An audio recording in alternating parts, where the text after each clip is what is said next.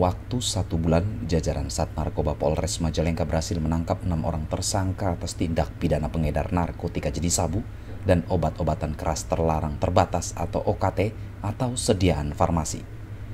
Barang bukti yang berhasil diamankan dari tangan keenam tersangka adalah sebanyak 12 paket sabu dan 527 butir obat keras terbatas. Para tersangka yang berhasil diamankan adalah DN yang merupakan pengedar sabu, sedangkan AS, AK, CA, JM dan RC merupakan para tersangka pengedar obat-obatan terlarang.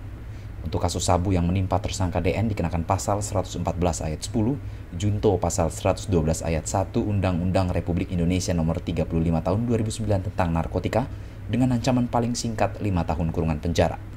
Sedangkan untuk kasus peredaran obat-obatan terlarang yang melibatkan tersangka AS, AK, CA, JM, dan RC dijerat dengan pasal 196 Junto pasal 98 ayat 2 Undang-Undang Republik Indonesia nomor 36 tahun 2009 tentang kesehatan dengan ancaman hukuman 10 tahun kurungan penjara. Modus operandinya uh, dia mengantarkan ke yang bersangkutan, kemudian yang bersangkutan ini bertugas untuk sebagai kurir untuk mengirimkan ke seseorang. Dan saat ini sedang kita lidik keberadaannya sebagai pengedar di, di Majalengka ini. Hmm. Itu sudah lama. dia mendapatkan honor setiap kali pengiriman paket sejumlah satu juta setengah. Itu sudah lama tersangka. Uh, pengakuannya baru dua kali, makanya kita sedang melakukan pendalaman ya uh, untuk mengungkap yang lebih besar lagi.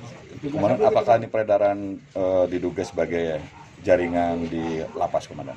Uh, sampai saat ini belum ada ya, hmm. sampai saat ini belum ada.